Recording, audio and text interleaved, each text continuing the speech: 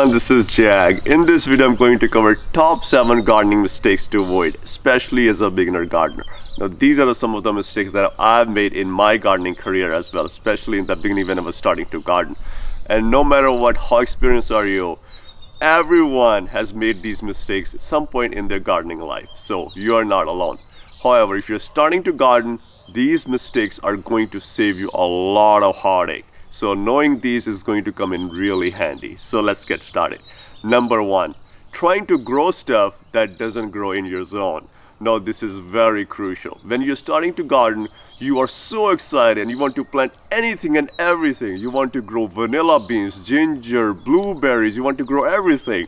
However, there's certain varieties that grow in certain parts of the world. For example, if you're trying to grow northern highbush variety, which grows in Seattle and northern states, and you're trying to grow that in Southern California, obviously that's not going to do well. However, there are varieties of raspberries, blueberries, and other you know berry species and fruit species that are adaptable to certain zones. So they have made hybrids that do well in certain zones in the in the world. So you can do research and see what grows well in your zone. So if you're growing stuff that grows well in your zone, you'll be successful. Number two, not amending the soil and using wrong type of amendments or fertilizers in your soil. Now, when I first started to garden, that was back in 2008. That's when we had bought the house. We used to live in an apartment, and then in 2008 we bought a house right after the housing, you know, market crash. You know, we got a little bit of a better deal, but market kept crashing after that. But still, it was good. We bought a house. We had a big backyard and I was so excited to start gardening. And then I just, you know, started some seedling and started planting. I did not amend my soil. I didn't add any compost or organic matter. I didn't do anything, and my plants didn't do okay.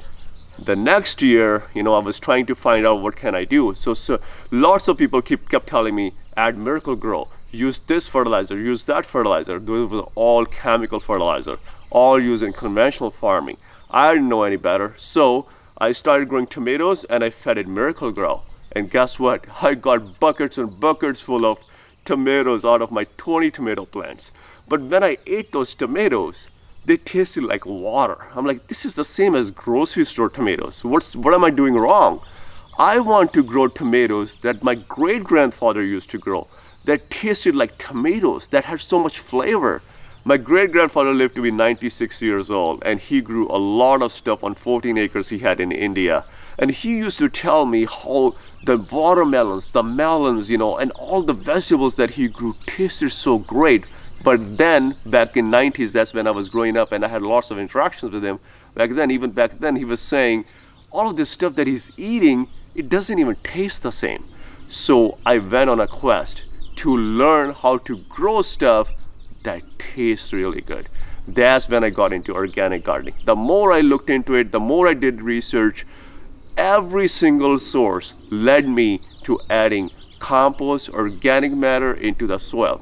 So here's the difference. In conventional farming, you feed the plant. You have all of these chemical fertilizers that feed the plant. In organic gardening, you don't feed the plant, you feed the soil. The soil in turn feed the plant you take care of the soil. The soil take care of your plants. So you can add all sorts of organic matter to the soil. You can add organic compost whether it's you know compost made from green materials such as leaves twigs grasses all that stuff that has been well composted.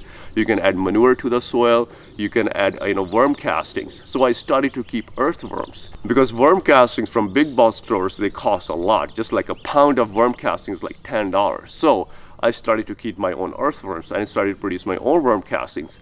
And over the period of two, three years, it didn't take up too long, just two, three years, I had so much organic matter in our soil that I was not even adding any fertilizers. I wasn't even adding like, you know, fish fertilizer that I used to use or, you know, all the feather meal, bone meal, stuff like that but I have all the organic matter in the soil. I had earthworms in the soil. I even sometimes would bury uh, a peel of banana in the soil, and after three, four, five days, it will be gone. I would actually fill in the trenches in my garden with the kitchen scraps over the fall, and then cover it up, have earthworms in it. Come spring, it's all turned to worm compost. All turns to worm castings. I made a video about that as well. So check that out if you're interested. And I also made a video about the importance of having organic matter in the soil as well. When I was doing all the research on organic gardening, something resonated with me. I came to realize that's everything my great grandfather used to tell me. Now, all the conversations and interactions I had with him is when I was very young. I interacted with him all the way until I was 17. So I have, you know, you know, all the memories. I still retained a lot, but all of these memories of you know I have with him is when I was very very young. So he used to share all of this his gardening experiences with me, all how everything tasted like, how he grew stuff. But I thought of it as stories, and I I didn't pay much attention to it uh, as as a practical way of me taking that knowledge and applying to my life at that point. And when I was in my 20s and started looking into gardening, and I was I was looking I thought we had better technology. I thought you know we could do better we have can have better yields you know the things are different now. But what I realized is that his way of gardening the organic gardening was the right way of gardening. And organic is not really a new term. You know it's not something that we invented. It's basically our ancestors used to garden in balance with nature working with nature. Is nature's way of life so after implementing organic methods, after having organic matter in the soil, I grew tomatoes, I grew so many vegetables and they tasted absolutely fabulous. I'm like, this is the stuff my grandfather was talking about. I've tasted few of his tomatoes back when I was growing up and that reminded me of his tomatoes. I'm like, now I'm on the right track. I also made a video on 8 organic fertilizers that you can add to your garden. So check that out if you're interested not only using chemical fertilizers that produce fruit that actually doesn't taste good, chemical fertilizers also kills the microbiology in the soil as well. So you want to actually keep the microbiology, the fungi, the beneficial bacteria in the soil so that they in turn feed your plants. Number three, planting too early.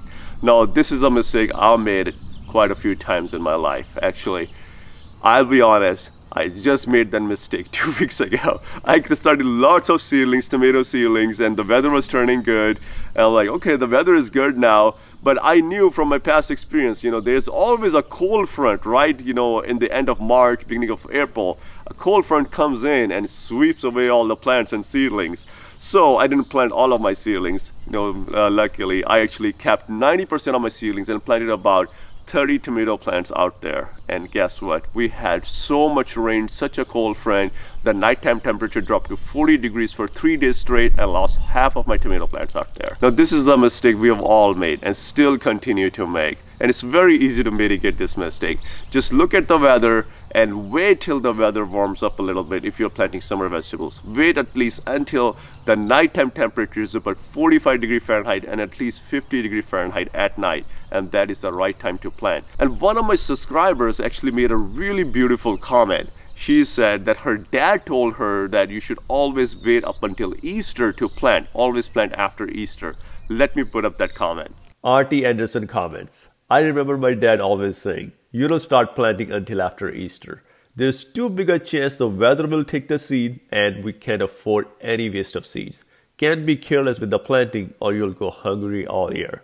You know, I absolutely cherish your comments and I look forward to these type of comments where you share your experience or your experience from your father, grandfather, and their growing techniques because from those I learn as well. I'm not just teaching, I'm also learning. I'm constantly learning all the time we are all learners too so thank you very much for making this comment and I'll definitely implement that in my gardening practice. So wait up until Easter is a really good marker. I can attest to that from my experiences in gardening.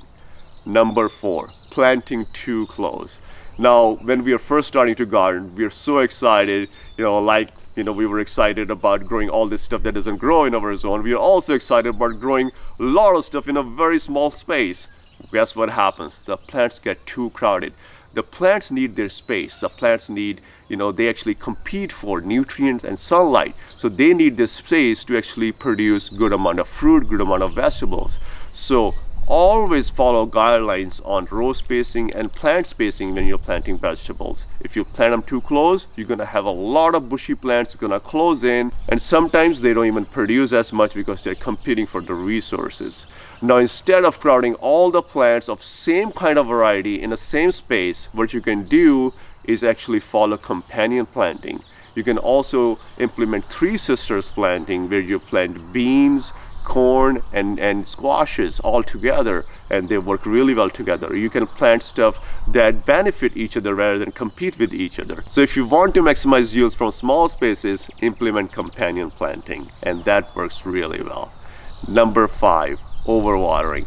Now the biggest mistakes about watering is not about underwatering, it's overwatering. We think the plants are drying up, we think the plants need water, so we keep feeding the plant with lots of water every two to three days. You need to scratch at least two to three inches below the soil and see if the soil is moist. I also use like a moisture meter that actually tells me what percentage of uh, moisture is in the soil. So here's the moisture meter. So let me put it in the ground. As you can see, the moisture level is about 70 to 80%. So we don't need to water anymore. Once the moisture level drops below 30 to 40%, it becomes more on the drier side. So that's when you water. Now tomatoes are especially very susceptible to overwatering. If you keep watering tomatoes with lots of water, they will produce a lot of foliage and not enough flowers and not enough fruit, not enough tomatoes. They will actually start dropping their flowers and not produce any more tomatoes because they think they're getting all the resources, they have all the water, so they're gonna keep producing more and more leaves. So you always want to stunt your tomato plants and make them think, okay, there's water is running out, it's going to be the end of the season, or you know, they're not gonna be able to produce seed. Uh, that's when they start to produce a lot more tomatoes. Number six, using chemical pesticides. Now, this is a mistake a lot of beginner gardeners make. Whenever they see some pests on their plants, they just pull out chemical fertilizers and start spraying their plants to kill the pests. Now, what that does is that it does kill the pests, but it also affects the beneficial insects such as ladybugs and lacewings. Ladybugs and lacewings actually eat the aphids and they eat all the other pests that actually attack our plants. So if we actually decrease the amount of beneficial insects in our garden, what comes back first? All the bad insects come back first and the beneficial insects are not there to protect our plants. What else it does is that it kills the bees. Now bees are required for pollination. One third of the world's food and crop production depends on the survival of bees. I made a video on five beneficial insects as well. So check that out if you're interested for more information.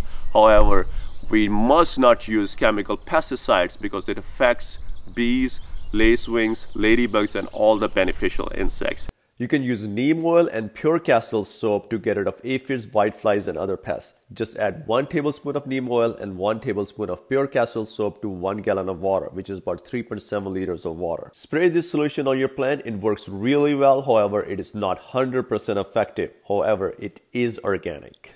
So refrain from using chemical pesticides and maintain a balance with nature and produce the best tasting fruits and vegetables that you can ever imagine. Number seven, not using mulch. Now, in my earlier, you know, periods of gardening, I didn't use mulch. I didn't use wood chips. I didn't use organic matter. So my soil would dry out and I didn't have much microbial activity in my soil either. So Adding wood chips to your garden also encourages microbial activity and also retains moisture in the soil and it also also protects the soils from you know radiations from the sun as well. So it actually encourages all the beneficial microbial bacteria and fungi in the soil what you can do is you know get some uh, you know wood chips from a local arborist. I made a video about how to get free wood chips as well if you're interested. Or you can just use some grass clippings. Whenever you mow your grass if you don't use chemical fertilizer or pesticides on your grass you can always use grass clippings to mulch around your plants as well. And that will help you retain moisture and also make your plants grow really big and beautiful. And my great grandfather always told me there are only three friends a gardener needs honeybees, earthworms, and ladybugs. I really hope you enjoyed this video and I hope you got some of the tips to start growing an organic garden and I hope you won't make any of these mistakes. I really hope you enjoyed this video and I'll see you in another video.